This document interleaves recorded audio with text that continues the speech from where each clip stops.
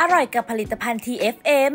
ปัจจุบันการแต่งหน้าคัพเค้กมีหลากหลายรูปแบบ เช่น บีบเป็นรูปทรงดอกไม้ หรือบีบลายเส้นตามชอบ วันนี้เรามีไอเดียใหม่ๆ ในการแต่งหน้าคัพเค้กรูปการ์ตูนมาฝากค่ะ สามารถทำเป็นกิจกรรมในครอบครัวได้ โดยวันนี้จะวาดเป็นรูปฉลามกันค่ะ ด้วยการบีบบัตเตอร์ครีมลงบนกระดาษไขนำเข้าแช่เย็นจนเซ็ตตัว แล้วนำมาประกบติดบนหน้าคัพเค้กโดยเนื้อเค้กจะมีเนื้อแน่นและไม่ยุบตัว แต่สิ่งหนึ่งที่ต้องระวังคือ เมื่อหน้าขนมมีน้ำหนัก เนื้อเค้กที่จะทำจะต้องรองรับน้ำหนักได้ดี เพื่อป้องกันไม่ให้หน้าคัพเค้กเกิดการยุบตัว ซึ่งคัพเค้กที่ดีมีวัตถุดิบหลักที่สำคัญ คือแป้งสาลี โดยเราเลือกใช้แป้งเค้กตราริบบิ้น เป็นแป้งชนิดพิเศษ ที่มีการปรับปรุงคุณภาพให้ดูดซึมน้ำและน้ำตาลได้มากกว่าปกติ เพื่อให้ได้คัพเค้กนุ่มฟู เนื้อละเอียดไม่ยุบตัวหลังอบเสร็จ เนื้อเค้กที่ได้จะมีทรงสวยอยู่ตัว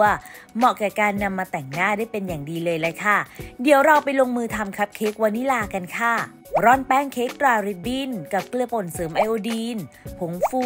นมผง และวานิลาชนิดผงให้เข้ากัน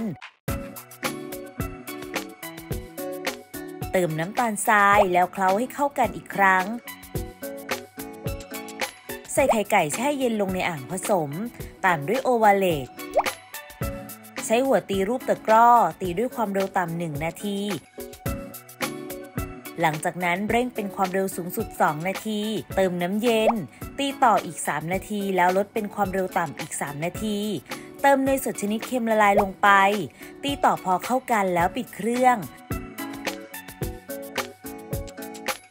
ใช้พายยางคนให้เข้ากันอีกครั้ง บีบส่วนผสมที่ได้ลงในพิมพ์ที่เตรียมไว้ประมาณ3ส่วน4ของพิมพ์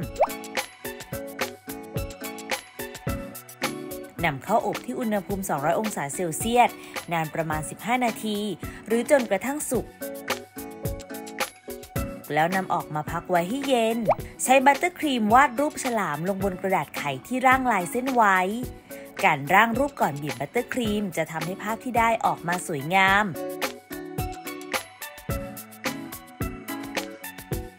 บีบบัตเตอร์ครีมปิดทับอีกครั้ง แล้วนำคัพเค้กมาคว่ำลงบนกระดาษที่วาดด้วยบัตเตอร์ครีมนำเข้าแช่เย็นจนกระทั่งเซ็ตตัว การแช่เย็นจะช่วยบัตเตอร์ครีมเซ็ตตัวดีและเป็นทรงสวยงาม ลอกกระดาษออกวาดตาฉลามเพิ่มเติมให้สวยงาม เสร็จเรียบร้อยแล้วค่ะกับเทคนิคดีๆ ในการแต่งหน้าคัพเค้กให้ออกมาสวยไม่ยุบตัว แค่มีผลิตภัณฑ์ TFM ก็สามารถทำคัพเค้กนุ่มฟูรูปทรงสวย รับประทานและเพิ่มยอดขายได้แล้วล่ะค่ะ